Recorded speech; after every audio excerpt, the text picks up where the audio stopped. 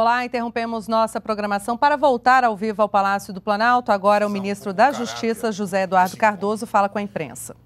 Ao longo desse período, vários juristas e várias juristas têm nos procurado para manifestar o seu posicionamento claro acerca da induvidosa inconstitucionalidade e ilegalidade do pedido de impeachment que está em curso. E várias razões vêm sendo citadas. São juristas de diferentes áreas acadêmicas, juristas que têm visões diferentes do mundo jurídico, que possuem muitas vezes visões político-ideológicas completamente diversas, mas que, na verdade, nesta questão somam seu entendimento, dando uma absoluta densidade e consistência àquilo que nós temos afirmado há muito tempo, que realmente não existe nenhuma justa causa para o período de impeachment, de que, na verdade, não existe dentro dos nossos marcos constitucionais e legais nenhuma procedência para aquilo que hoje está em curso e tramitando no Congresso Nacional. Esses juristas e essas juristas voluntariamente apresentaram pareceres, trabalhos alentados, trabalhos robustos, enfocando diversos aspectos que demonstram inexoravelmente a inconsistência desse pedido que está em curso no Congresso Nacional. Esses juristas se reuniram hoje aqui, expressaram de viva voz os seus pontos de vista para a presidente da República, nós registramos algumas ausências desses juristas justificadas, porque não puderam estar aqui presentes. Cito especificamente outros subscritores de pareceres, como o professor Dalmo de Abreu Dalari e Sueli Dalari, que não puderam estar aqui presentes. O professor Celso Antônio Bandeira de Melo, que também não pôde estar aqui presente. O professor Cláudio Lembo, que também não pôde estar aqui presente, dentre outros. Então, portanto, após essa reunião, acho que algo ficou evidenciado. Em primeiro lugar, que não existe legalidade nenhuma para qualquer processo de impeachment nos termos daquilo que está sendo discutido no Congresso Nacional. E, em segundo lugar, algo que também ficou subjacente à fala de todos os senhores juristas e senhoras juristas que aqui se manifestaram, que é a ideia de que não existe pacificação nem unidade nacional fora da legalidade. O Brasil demorou muitos anos para constituir-se num Estado democrático de direito. E pensar-se hoje que fora da Constituição e fora da lei se vai conseguir pacificar o país e encontrar saídas para quaisquer das crises que nós vivemos é um erro grosseiro, é um equívoco que nós não podemos concordar. Eu pediria então que os senhores juristas, as senhoras juristas que estão aqui presentes, que quisessem rapidamente expor seus pontos de vista, pudessem efetivamente fazê-lo. Me informa aqui também que o Carlos Balder, aqui não entendi. Carlos Valdo Nascimento, que também não estava, não pôde estar aqui presente, e também a professora Mônica Herman Salen Cadiano também não pôde estar aqui presente. Esses juristas justificaram sua ausência pela impossibilidade de aqui comparecer. Então eu pediria aos senhores, o professor Juarez, talvez, possa ser o primeiro entre todos aqueles que desejam fazer uso da palavra. Boa tarde a todos. Nós apresentamos um parecer à Presidente da República relacionado ao procedimento de impeachment no Congresso Nacional e também às características dos crimes de responsabilidade. Fizemos um estudo profundo dessas características dos crimes de responsabilidade e verificamos que, efetivamente, esses crimes de responsabilidade constituem infrações graves que atentem fundamentalmente contra a Constituição. Não se incluem entre os crimes de responsabilidade infrações menores, nem irregularidades administrativas que possam ocorrer durante o mandato presidencial. Por outro lado, também é importante ressaltar que há que se fazer uma adaptação da lei que define os crimes de responsabilidade para a Constituição, inclusive para o Código de Processo Penal depois de sua alteração recente, na qual se possibilita, antes do recebimento da acusação por parte do Ministério Público, a resposta do acusado. Se isso acontece para os crimes comuns, deve valer também para os crimes de responsabilidade. Essa é a nossa ideia. Em relação aos crimes de responsabilidade, ademais, é preciso ressaltar que não se pode aplicar aos crimes de responsabilidade algumas normas inerentes à responsabilidade penal, a não ser aquelas normas da responsabilidade penal que se ajustem precisamente à configuração desses delitos. Por exemplo, é incompatível com os crimes de responsabilidade os chamados delitos omissivos impróprios, nos quais, através de um ato legal, se atribui a responsabilidade a alguém de não realizar uma ação que normalmente deveria ser realizada por quem tivesse o dever de fazê-lo. Os crimes de responsabilidade não comportam esse tipo de configuração. Por exemplo, a mãe que deixa de amamentar o filho menor e ele morre, responde por homicídio por omissão. O homicídio é um crime que pode ser praticado por ação em sua generalidade, na maioria das vezes. Mas a mãe responde por homicídio porque, claro, aquela omissão equivale a uma ação. Nos crimes de responsabilidade, isso não existe. Ou a omissão está definida na lei como tal, ou ela não pode ser introduzida para caracterizar omissivamente delitos que são praticados por ação. Essa é a nossa ideia. Por outro lado, também é indispensável que se faça uma análise, agora sem qualquer divergência e especulações absolutamente falsificadas, acerca da responsabilidade pelo domínio do fato. Se disse uma vez, num tribunal brasileiro, que a teoria do domínio do fato deveria, ter, teria decorrido de um ajuste para que pudessem ser interpretados os delitos econômicos. Isso não aconteceu. A teoria do domínio do fato, ela aparece em 1950, muito antes da configuração de delitos econômicos. Ela decorre exatamente do mesmo conceito de conduta a conduta dirigida a um fim só pode ser dirigida a um fim quando a pessoa domina a causalidade. Aí que decorre a teoria do domínio do fato. Por outro lado, a teoria do domínio do fato não pode implicar uma responsabilidade extensiva a todos aqueles que possam estar presentes numa administração pública. Por isso que esse parecer foi aqui dado, independentemente de coloração partidária. Eu, por, por exemplo, não tenho nenhuma vinculação a partido político.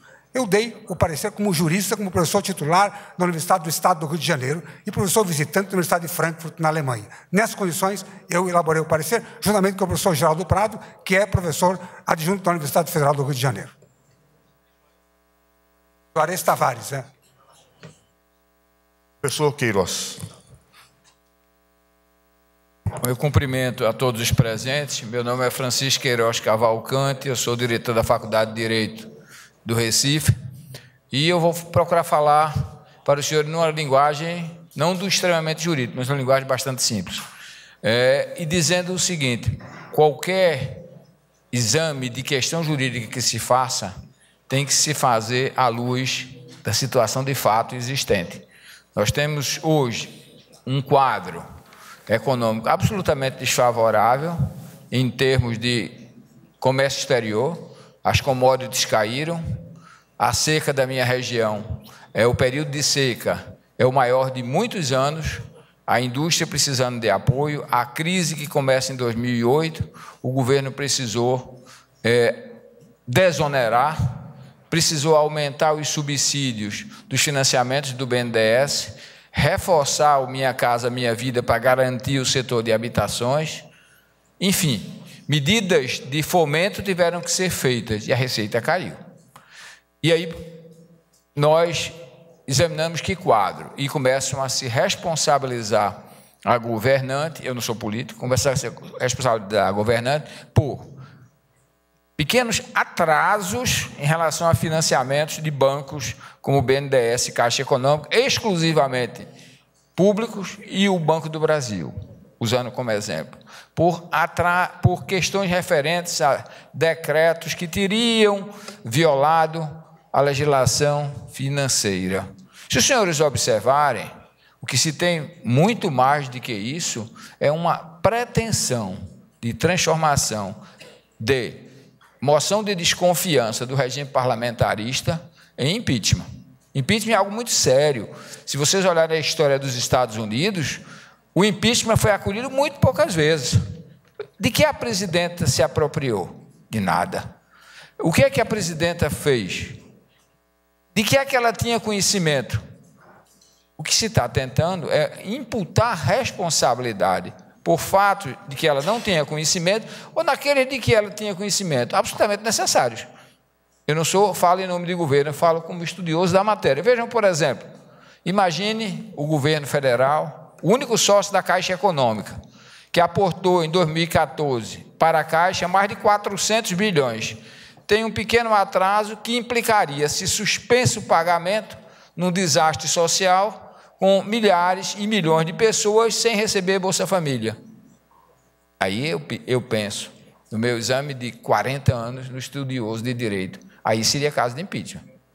Seria melhor atrasar um pouco pagamentos à Caixa Econômica do que deixar tantas e tantas pessoas sem recursos. Deveríamos é, deixar de transferir recursos para o BNDES, reduzir a desoneração para segurar uma receita e ver uma redução grave no nível de emprego, se os senhores forem ler com atenção, não só a extensa manifestação do Tribunal de Contas, não vou tecer nenhuma adjetivação sobre aquela manifestação, ou forem observar os atos praticados, os senhores de boa fé dirão: não tem um desses que eu também não faria, a não ser que tivesse com deliberada má fé.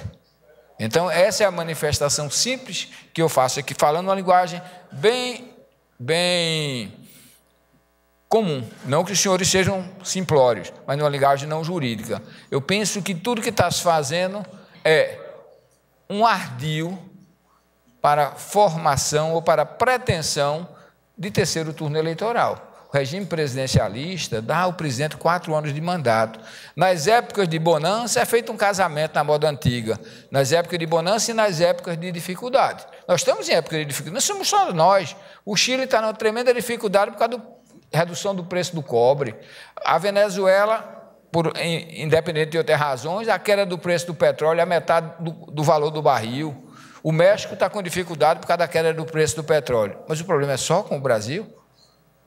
Essa é a questão que eu coloco. E aqui eu fiz um parecer é, especificamente nas relações do poder público com os bancos oficiais, que sempre foram instrumentos para manter o setor produtivo, manter o setor agrícola, manter é, as políticas sociais, e que nos momentos de dificuldade teria que manter esses programas. É nessas dificuldades que o poder público tem que estar presente.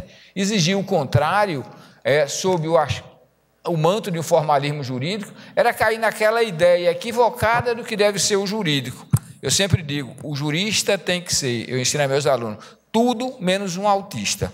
Ele tem que saber que o direito é algo que se aplica a uma realidade e que tem que funcionar em função de uma realidade. É isso que nós estamos vendo. O resto é, com todo respeito, jogo político e pretensão eleitoral. Obrigado. Bom dia, boa tarde, né? Eu, meu nome é Rosa Cardoso e nós estamos aqui com um conjunto de operadores é, do direito, juristas, advogados, professores, cada um respondendo e falando por uma área.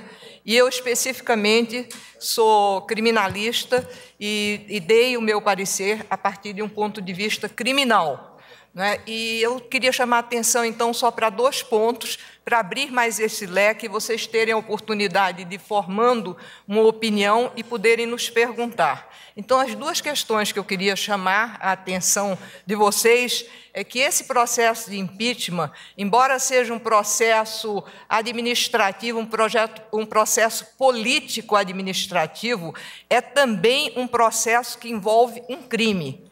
É assim na definição do legislador que prevê isso, dentro de uma lei que, que, prevê o crime de responsabilidade do presidente da República, e é assim na interpretação do Supremo Tribunal Federal, que tem se pronunciado dizendo que isso deve ser visto como um crime também. Bom, se é crime, tem as garantias do direito criminal. Ou seja, o fato só pode ser enquadrado, só pode ser atribuído a alguém se for típico, antijurídico e culpável. Se houver justa causa do ponto de vista criminal. E justa causa do ponto de vista criminal é materialidade criminosa e autoria criminosa. E materialidade criminosa não é ter feito qualquer coisa, é ter feito alguma coisa que se considere crime.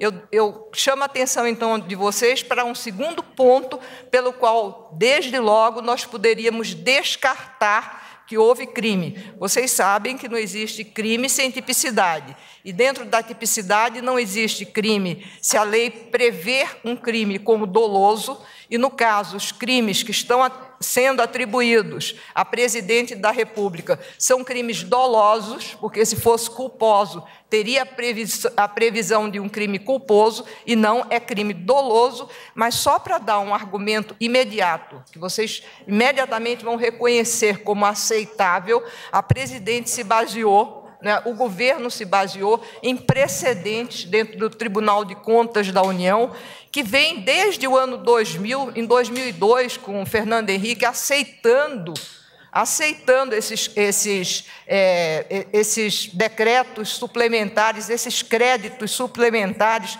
que estão sendo cobrados agora, aceitando essas pedaladas fiscais, o que se chama de pedaladas fiscais, que são práticas comuns. Então, não houve dolo. Quando vocês examinam também a mensagem que foi mandada para o Congresso de 2015, e o presidente da Câmara, o Eduardo Cunha, ao aceitar a denúncia diz: eu, eu estou aceitando somente para discutir esses decretos de 2015, esses seis decretos de 2015. Então, quando a presidente mandou isso para a Câmara também, ela disse: Eu estou mandando dessa forma, eu estou pedindo, porque eu não posso suspender, eu não posso fazer esse contingenciamento, que o custo-benefício disso para a população, para terceiros, seria muito forte. Então, houve também um estado de necessidade. Resumindo e finalizando, os dois argumentos mais fáceis de ser compreendido por que não houve esse crime é que não há dolo e que essa atuação do que o, o, o Eduardo Cunha está enquadrando foi feita, se pode arguir que foi feita em estado de necessidade. Então, sendo assim, não há desde logo justa causa para que esse processo seja aceito. Obrigado.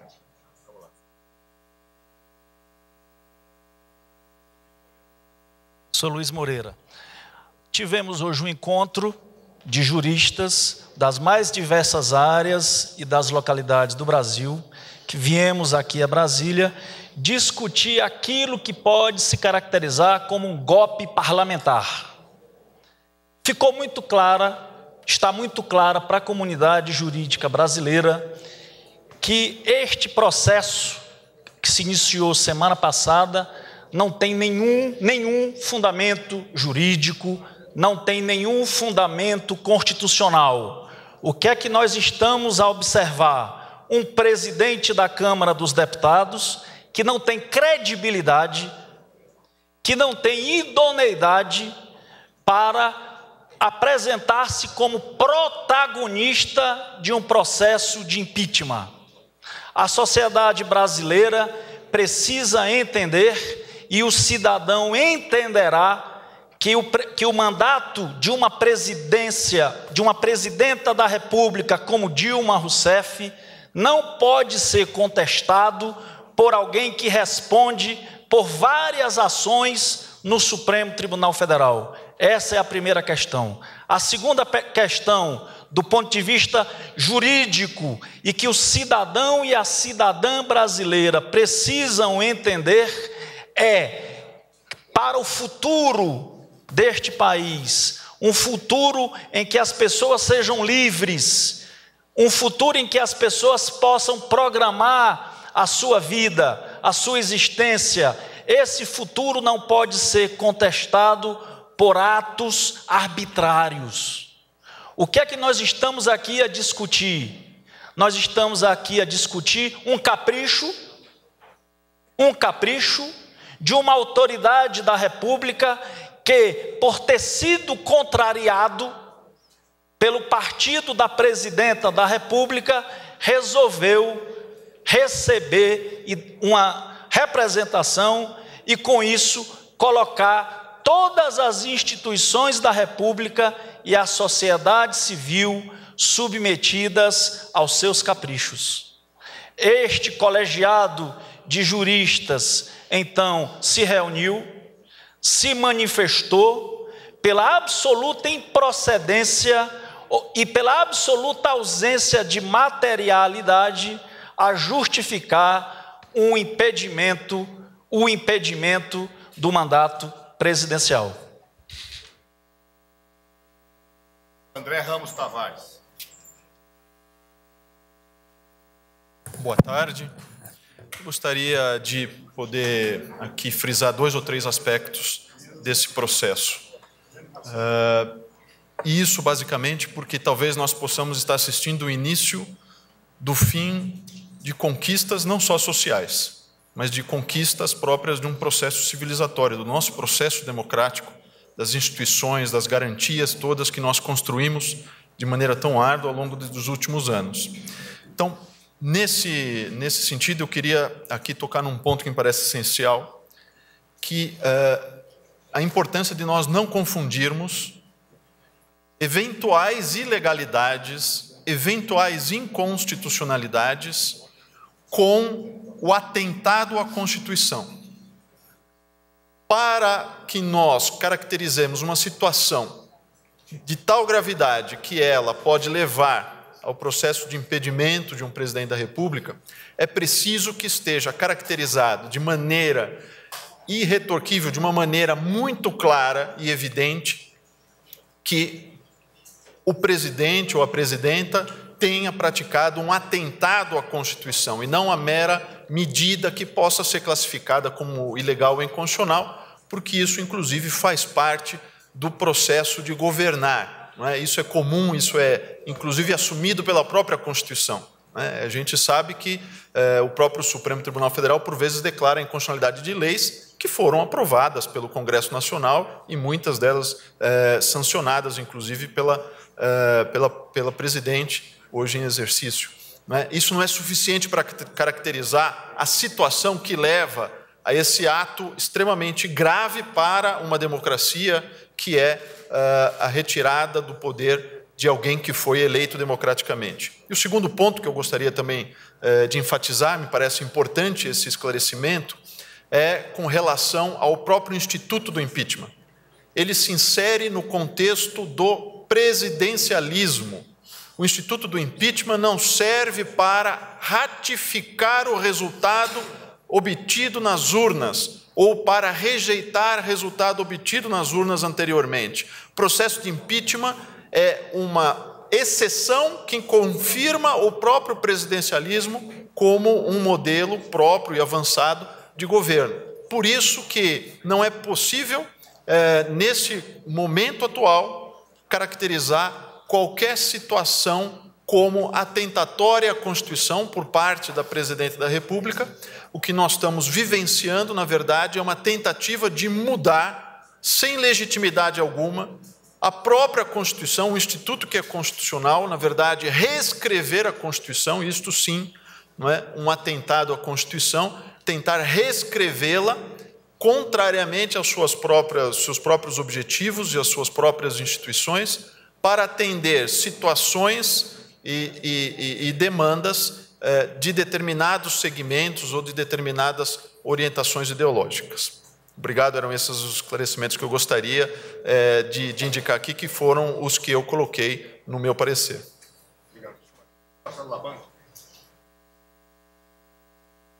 Muito bem, eu me chamo Marcelo Labanca, sou professor da Universidade Católica de Pernambuco e membro do grupo REC Recife Estudos Constitucionais. Nós elaboramos um parecer junto com o professor Gustavo Ferreira Santos e o professor João Paulo, examinando de maneira muito simples se houve ou não houve o chamado crime de responsabilidade. E a nossa conclusão foi de que realmente não há nenhum ato pessoal direto da presidenta da República capaz de gerar o chamado crime de responsabilidade. O crime de responsabilidade, ele exige a fraude, ele exige a intenção da desonestidade. Não é qualquer ato ilícito, existe a vontade de fraudar. Portanto, não foi identificado, diante do exame que nós fizemos no nosso, no nosso parecer, no nosso estudo é, jurídico acadêmico, qualquer ato que pudesse levar a presidenta da República a perder o seu mandato. Então, nós estamos diante de uma situação onde o direito está sendo manipulado com a finalidade mais política do que essencialmente jurídica. Do ponto de vista essencialmente jurídico, não houve a ocorrência do chamado crime de responsabilidade. O direito, só para concluir, ele serve para a nossa proteção. Nós temos as nossas casas, os nossos carros, temos direito à guarda dos nossos filhos, graças ao direito. Não pode haver uma manipulação e uma subversão do direito com finalidades políticas. Isso gera injustiça. O sentimento de injustiça, ele é um sentimento que pertence a todos nós aqui.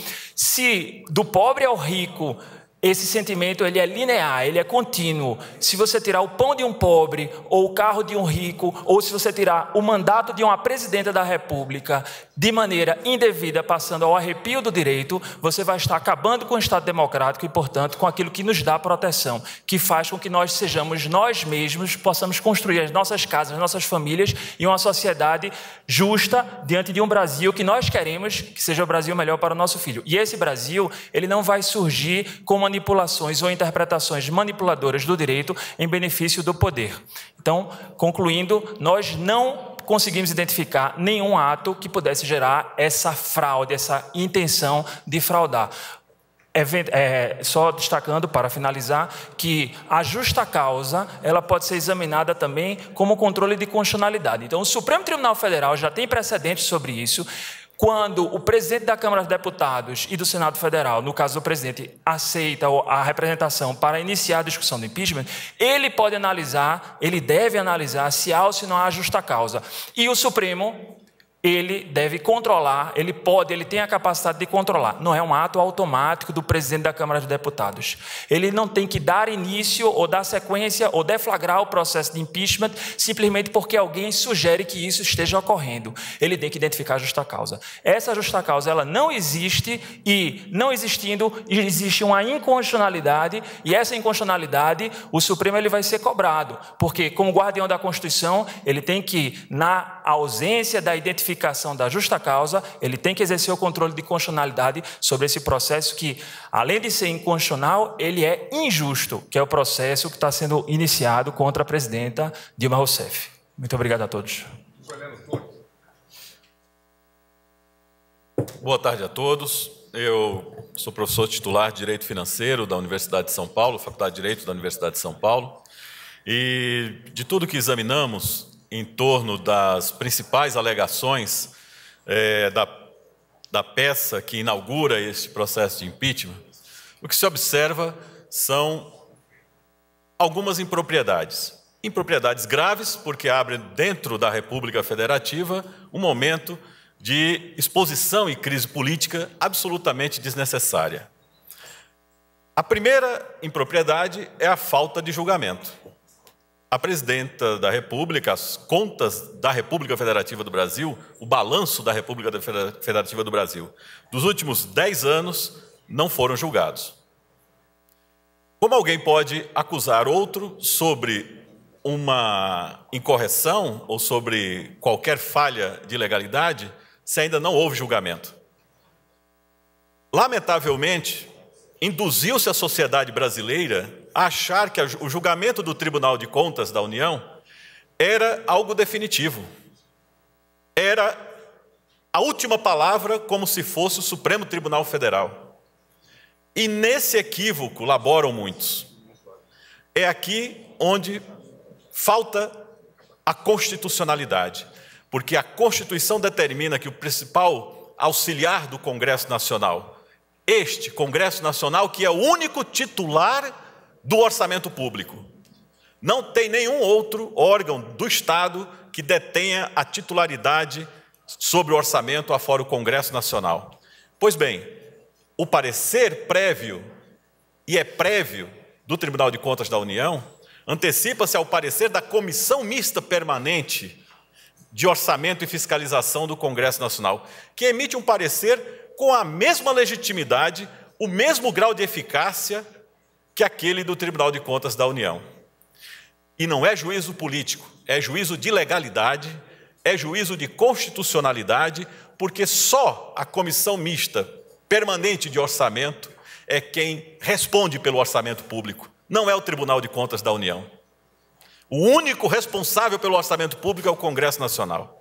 Por isso, só quem julga, e este é o termo de competência atribuída pela Constituição, compete ao, compete ao Congresso Nacional julgar as contas da, da, da presidência da República, do Poder Executivo. Pois bem, a presidência da República não teve suas contas julgadas. Lamentavelmente, o Congresso Nacional omitiu-se ao longo de 25 anos em julgar as contas aqui nesse país. Só duas contas foram julgadas. Qual é a jurisprudência existente? Porque só há coisa julgada quando há decisão definitiva de quem julga, não de quem aprecia que é o termo que a Constituição usa para o ato do Tribunal de Contas da União, ou de quem examina, que é o, o, o verbo examinar as contas, que é utilizado pela Constituição. Por isso, esse é o primeiro pressuposto fundamental que não foi observado. Não há acusação que se sustente se não houve julgamento das contas pelo Congresso Nacional. Primeiro, que o Congresso Nacional cumpra a sua competência constitucional. Ex executada essa competência, e aí sim, se houver alguma ressalva a ser mantida, esta ressalva deverá ser observada pela União para os exercícios futuros, mas não para o passado, porque no Estado democrático de direito, a segurança jurídica exige previsibilidade. Se há mudanças de regras, essas regras só podem valer para o futuro, nunca para o passado. Pois vamos a elas.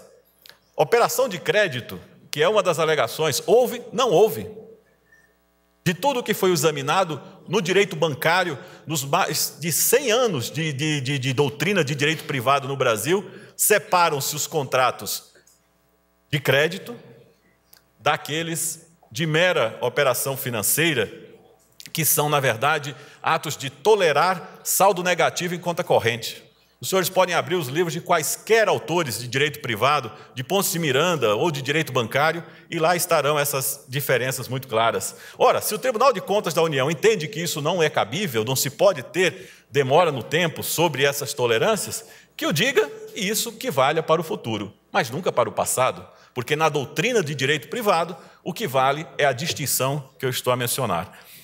E para não me alongar, sobre as metas, não é absolutamente desconhecido de todos que no âmbito internacional há uma crise gravíssima.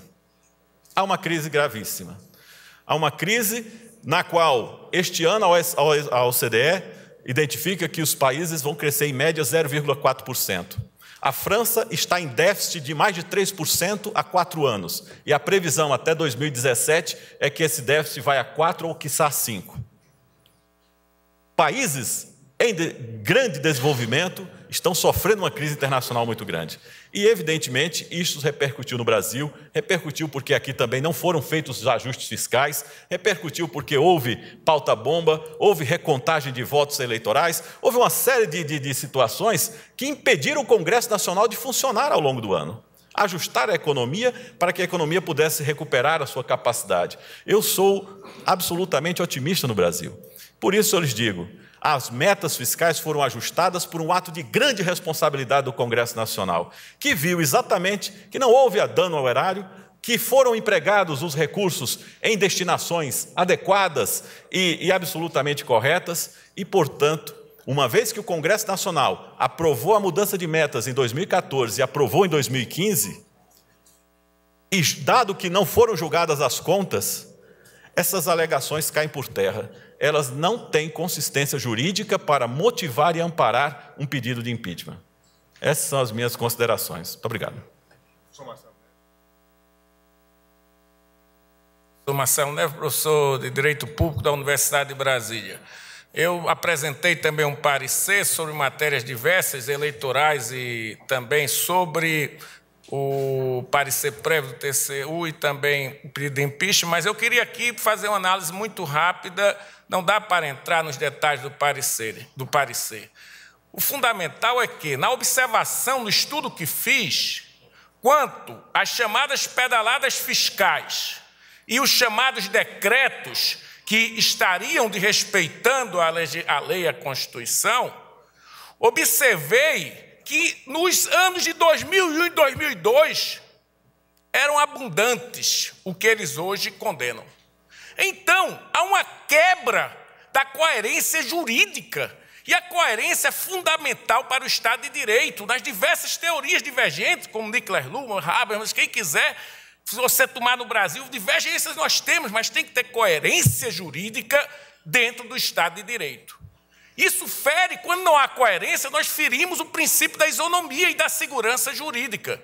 Portanto, é um absurdo o que está se fazendo, é uma irresponsabilidade. No governo de Fernando Henrique Cardoso havia os mesmos atos. Então, não podemos agora mudar isso afirmando que é algo que justifique o impeachment. Então, esse é um ponto fundamental. De outro lado, já tentou o André Ramos Tavares, quer dizer, ato atentatório à Constituição que vai ser um elemento do caput do artigo 85, que vai servir para toda interpretação dos crimes é, é, de responsabilidade, esses atos é, é, atentatórios não se caracterizaram, não é qualquer inconstitucionalidade, não é qualquer ilegalidade Há os controles para saneamento desses problemas, os controles administrativos, fiscais jurisdicionais. Imagine se a presidenta, quando Obama sancionasse uma lei inconstitucional declarada. Isso não é um debate sobre impeachment, é debate sobre a inconstitucionalidade da lei ou a ilegalidade de um decreto. Isso não é suficiente. Portanto, senhores, o que observei no estudo que fiz, para minha decepção, com os nossos políticos e com os denunciantes, que até admirava antes, é que se trata de um pacto forjado irresponsavelmente para deixar o país em crise e levar uma crise enorme nesse momento de indefinição, que em um momento determinado não se possa mais realmente haver governabilidade. É um jogo parcial partidário. O Rui Barbosa, que é tão citado por eles, descontextualizadamente, o Pontes de Miranda também, o Pontes dizia, é um regime jurídico, e João Barbalho dizia, os detalhes jurídicos que tem, os limites jurídicos do impeachment, é uma garantia do respeito ao povo, porque o presidente tem uma eleição como sua base. Portanto, tudo que está se fazendo, com toda essa retórica irresponsável, aponta para uma orientação política que no sistema parlamentar teria sentido e, portanto, se eu não diria um golpe, porque eu sou mais cuidadoso que outros, eu diria que é um equivalente funcional ao golpe. É como se você não tem apoio mais militar para dar o golpe, porque não há mais as condições internacionais e no hemisfério, você cria agora formas outras que servem para derrubar irresponsavelmente e sem base jurídica um governo popular. É isso que eu queria dizer. Obrigado. Senhoras, é, acho que vocês puderam ouvir já bastante detalhe as diversas manifestações. Evidentemente não são todas, alguns professores inclusive tiveram que sair por conta de viagem, mas o fato que essas manifestações reforçam essa dimensão jurídica, a consistência jurídica da posição do governo. Eu só, de delas, eu registraria quatro pontos que eu acho que são fundamentais. Primeiro, é, quer-se de forma artificiosa, quer-se na forma de um artifício jurídico, criminalizar a conduta da presidente, crime do ponto de vista de responsabilidade.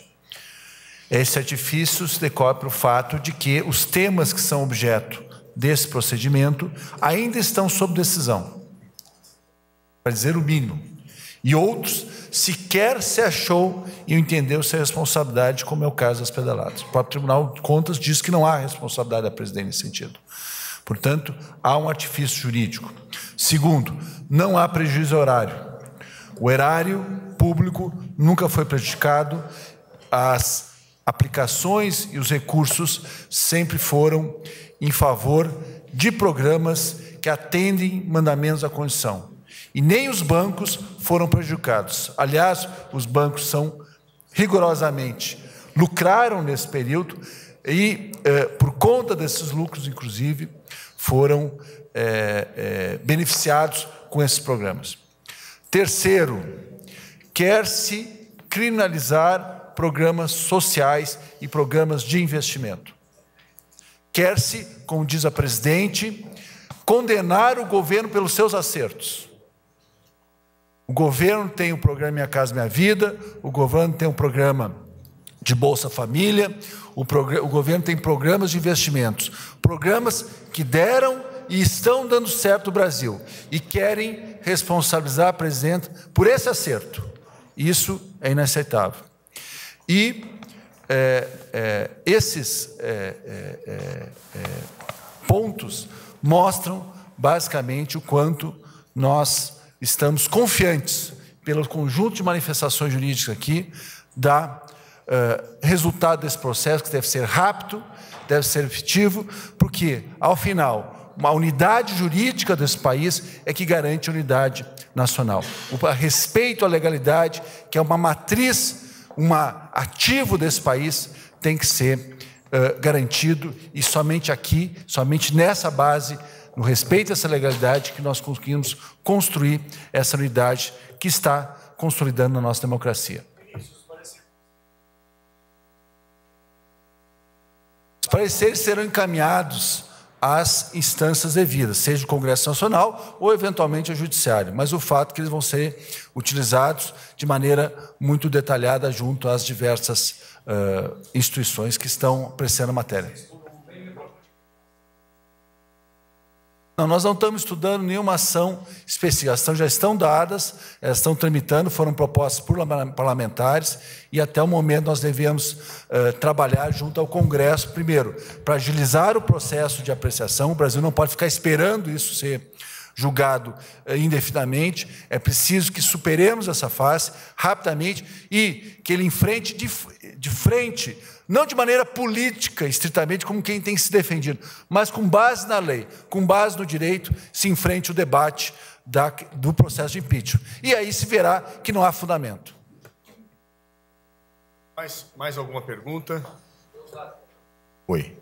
Olá, ministro, é, senhores, boa tarde, senhoras. É, ministro, é, entre tantas figuras notáveis, a gente sentiu a falta de um dos maiores constitucionalistas do Brasil, que é justamente o vice-presidente, que está como vice-presidente, Michel Temer. Então eu pergunto para o senhor, óbvio, ele tem a agenda dele, mas enfim, tem como levar uma defesa jurídica e política da presidente neste momento, sem ter a base, sem ter uma declaração aberta é, do vice-presidente Michel Temer e também complementando é, o ministro Padilha hoje, a gente não sabe se até agora se ele saiu, se não saiu. Ele disse que na sexta-feira protocolou a carta de demissão.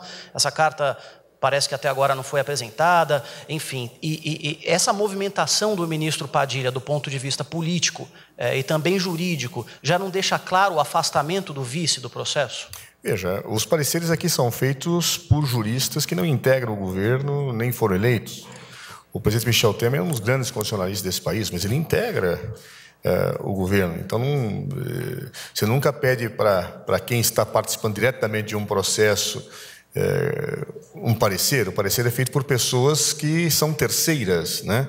E a relação do presidente Michel, do vice-presidente Michel Temer com, com a presidenta Dilma é uma relação que ela própria expressou agora. Não tem nenhuma, nenhum contratempo, nenhum problema. O presidente Michel sempre foi é, uma pessoa que, em conjunto com a presidenta, construíram as políticas desse governo. Então, eu não vejo eh, nenhum problema em relação a isso. No que diz respeito à eventual saída do ministro Padilha, a própria presidenta há pouco respondeu, ela ainda não conversou com ele, então, portanto, não há nada a se informar a respeito. que mais?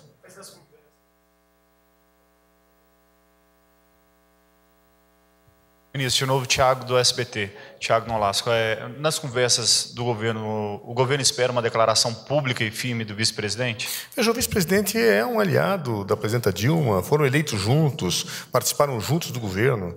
Eu não vejo nenhuma razão para que nós tenhamos nenhuma ponderação a respeito. Ele é uma pessoa que tem tido uma relação estreita, e a própria presidenta disse há pouco, confia no vice-presidente da República. Ministro Isadora, do Estadão, é, por que, que o governo não vai entrar com uma ação no Supremo? Por que, que isso ficou com os parlamentares? Qual é. Veja, o governo está priorizando a discussão do Congresso Nacional, que é o foro eh, onde vai haver esse julgamento. Nada impede, todavia, que parlamentares e partidos políticos, julgando que exista alguma ilegalidade, eh, ingressem com ações. Isso é um direito de cidadãos, direito de entidades. Então é absolutamente normal. O governo está concentrado, através da Advocacia Geral da União, em apresentar as suas razões ao Congresso Nacional.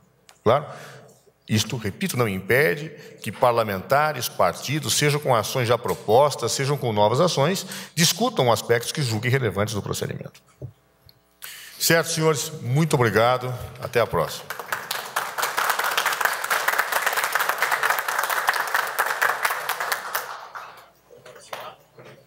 Você acompanhou a entrevista concedida pelo ministro da Justiça, José Eduardo Cardoso, e por alguns dos juristas que integram um movimento chamado Juristas pela Democracia. A presidenta Dilma Rousseff se reuniu com um grupo no Palácio do Planalto que entregou um documento em que se posicionam contra a abertura de processo de impedimento no Congresso. Após as declarações dos juristas, o AGU Luiz Inácio Adams afirmou que há uma tentativa de criminalizar de forma artificial a conduta da presidenta Dilma e de criminalizar e condenar os programas sociais do governo. Ele disse ainda que não há prejuízo ao erário, nem os bancos foram prejudicados.